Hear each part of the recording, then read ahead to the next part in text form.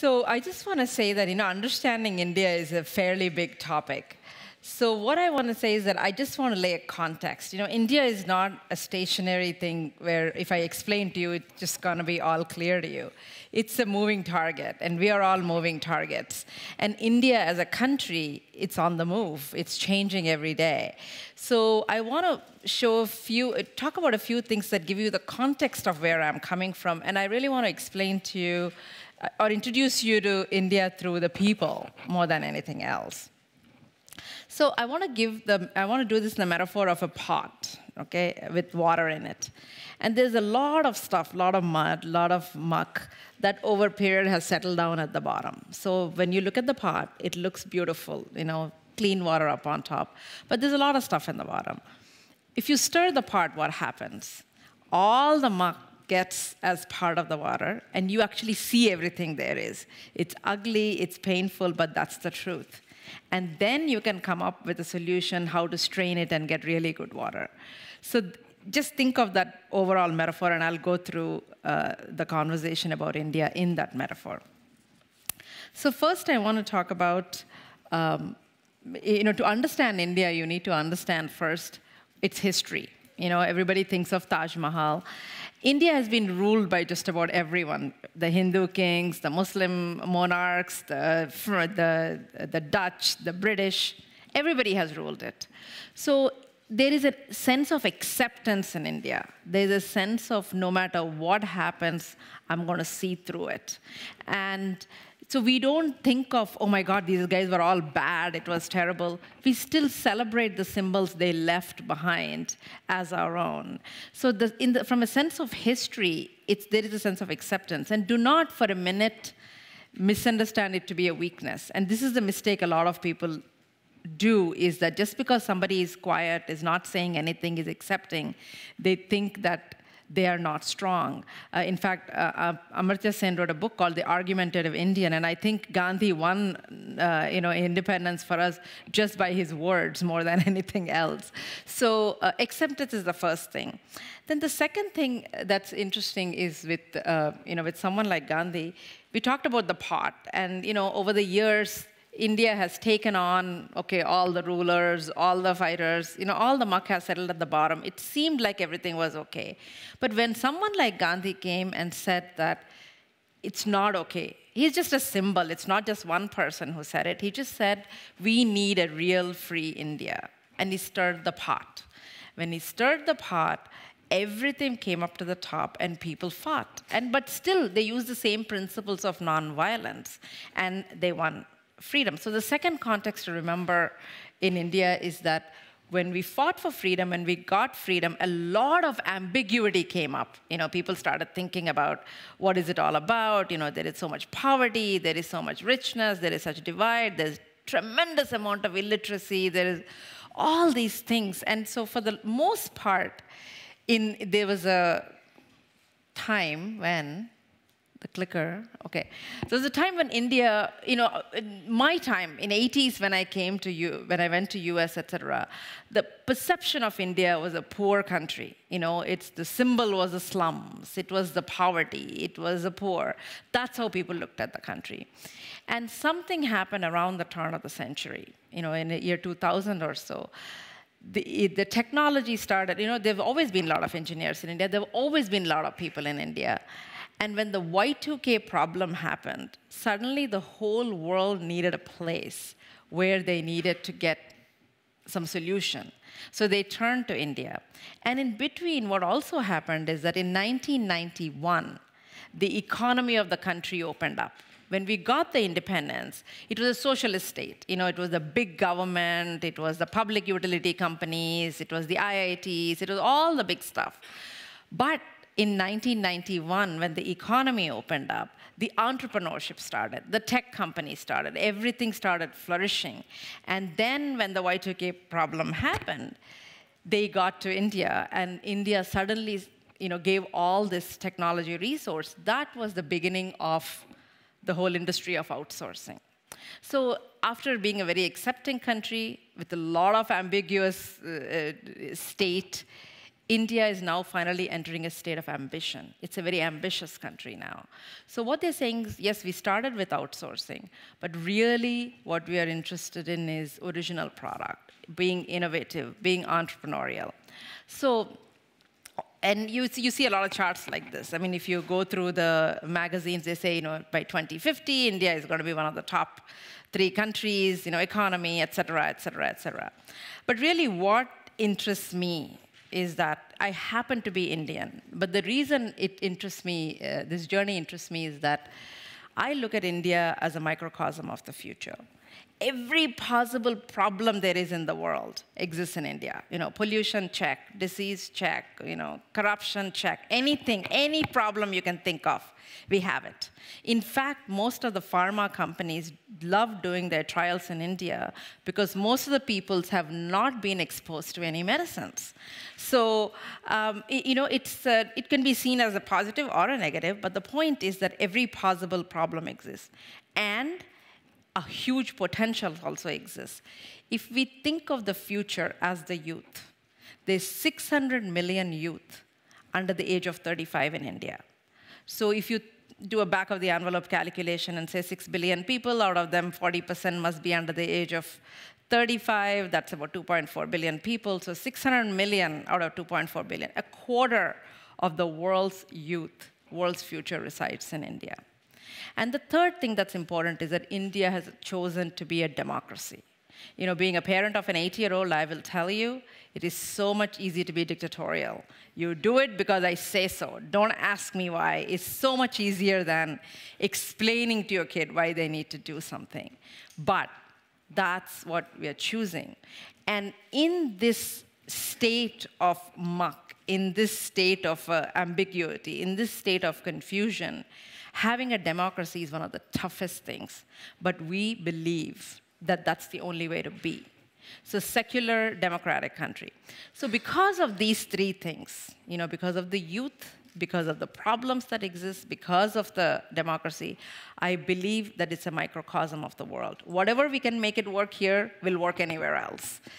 Um, and also, we need to, I believe, so now what I want to do is I want to introduce to you, you know, we've been talking, um, I'll go back for a second. We've been talking a lot about what is important you know, today we talked about communications, we talked about stories, we talked about everything. But I think to understand any culture, not just India, any culture, you need to understand it through its people. So I want to introduce to you a few people who are actually defining India. In this, what I want you to remember is that 1991 is when the eco economy opened up in India. So really, India's independence should start from that day. That's when it truly became independent. So India is a 21-year-old country. And literally anybody who's born after 1991 has a very different mindset than someone who was born before that. They are free. They do not remember the British ruling us at all. They have no sense of shortage. They understand India as it is today. They don't, they don't remember it as the time when we felt we had to leave to learn more. We had to leave to connect with people. They don't think, think of it that at all. So it's a truly free state of mind. So who are some of the people and what they're doing? I want to quickly introduce you to them. Um, so there's Anupam Mukerji first. He's got, he started something called Fake IPL Player. IPL is one of the biggest um, uh, games, cricket games in India. And he just named himself as an IPL player and just put a blog for fun. And next thing he knew, he had 150,000 unique users per day spending an average of 25 to 27 minutes on this site. And he became so popular that at some point he was afraid that he was going to get arrested because they thought he was really an IPL player. And then now he started a company called Pitch Invasion, which is just four of them sitting in their living room, bantering, chatting while a cricket commentary is going on like you would with your friends. They have about 40,000 users who come there, spend about 45 minutes per day on this site. So he's building a company, and VCs have come to him. They want to give him money. He doesn't want the money. He says, I have fun with my friends in my living room. I make enough money. That's what I want. And then we have uh, Arpit Mohan. He's, he's a 22-year-old college kid. He had an idea, and he went to his, somebody who he considered his mentor and showed him what he wanted to do. And they told him, you'll be a failure, don't even do that. And he was so upset that he went home, quit the job he had, decided to do this full time. And their company is called GharPay. Ghar means home, pay is payment. In India, over 90% of the people do not have credit cards. With e-commerce coming, people can go to cyber cafes and buy things, but they cannot pay for it because they don't have credit card. Their solution is very simple.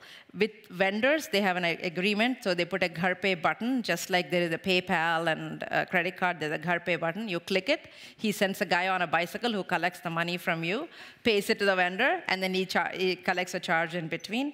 They have already gotten money from Sequoia and independent uh, uh, angel investors. They're in 10 cities, 40 plus clients. They do about $400,000 worth of transactions per month. They have 65 people, of which 53 who are called payment managers. These are the people who go on the bicycles. Only 12 people are running. Now, what he's doing is that the running the bicycles maybe Okay, running the bicycles may be, um, you know, um, uh, non-tech, but he's built a very big system uh, behind. Um, and um, I'm not going to go through all of them, but uh, the Deepak Ravindran is another guy. He has got a company called SMS Gyan. Again, we go to Wikipedia, we go to uh, Google for answers. What does somebody who doesn't have internet do? They do everything on the SMS. You send a question on the SMS, you get an answer. And uh, they have just been valued at $20 million uh, within seven months. 10 million users, 2 million a month they generate for the operators. So, and um, one of the most, in, and then these are all young people.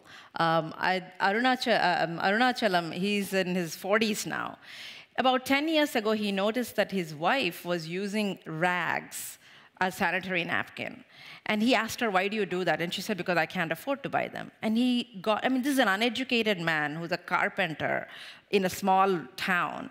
He decided that he has to, he, then he started learning that 90%, almost 90% of the women in India use things like newspapers and sawdust and rags because they can't afford to buy sanitary napkins. He, for six years, he worked on creating a machine that makes sanitary napkins and, uh, and his story is amazing. Actually, it's in The Guardian today. His whole story ran in The Guardian today. And he created now a machine that sells for about 1,500 pounds, uh, and uh, it makes about it, it makes about 3,000 napkins a day. And you can sell a packet of eight or 10 for about 10 cents. And, uh, and the way, he, the interesting thing is the way he's doing it. It's not through his company.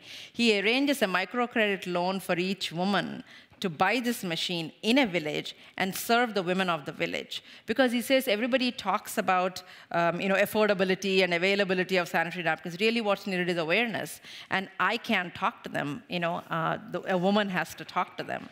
So he's creating almost uh, 600 machines are out there, each woman generating about 4,000 4, rupees a month, which is about $80 a month of income, which is way more than what her husband earns. But more importantly, he's completely committed to making India 100% healthy, you know, in his own um, way. So, and then uh, last one I want to talk to about Shirin Juwaley. She's a person who's been, uh, um, her husband threw acid on her face, so she's disfigured. But she realized that, um, you know, and she wore a burqa for about three months of her, three years of her life. And when she went to a convention where there were other people like her, she realized the importance of uh, accepting that. So she has a small NGO run out of her house, two of them. They go to every hospital in Mumbai and spend time with women who are burn victims, hold them, hug them, makes their families understand why they should accept them. Small things. I think the thing I want you to understand is they're all small innovations. So I want to quickly go, and also I wanted to say there are some people, Asha Jadeja is here, Raghava is here, Shiloh, who's going to be speaking at 4 p.m. tomorrow. These are all people who are involved with what we're doing. Ask them about all these people that we are working with.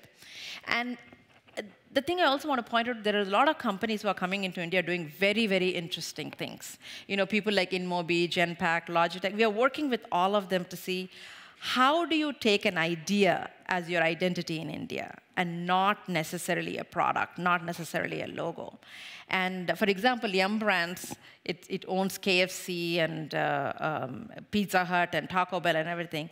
What they're doing is that one out of every 10 KFC stores is completely run by hearing impaired people front, back, everything. And the whole store is designed differently. So you order by pointing to things, not by saying things. Uh, the microwave, instead of a bell, it puts on a light etc., cetera, et cetera. So, but it's completely run, and this is their uh, target, is that 10% of their employees should be completely hearing impaired. And uh, Aravind Eye Hospital is something that, uh, um, that gives very high quality medicine and at the same time takes the profits and serves the poor completely free. Same doctors, same facilities, same services, free for one, charged for the other what I want you to notice about all these things is these are all economically sustainable models. Nobody is looking for donations. Every one of the people that I talk to you about is doing it in an economically sustainable way, but in a way that's enough for them and a few others instead of owning it all, so to speak.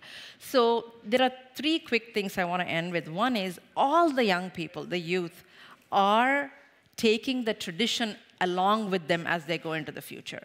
They don't feel that they need to belong to some homogenous uh, blob to be part of this world. They, are, they keep who they are and solving local problems, local languages, local issues, which is going to be a huge trend uh, in the future.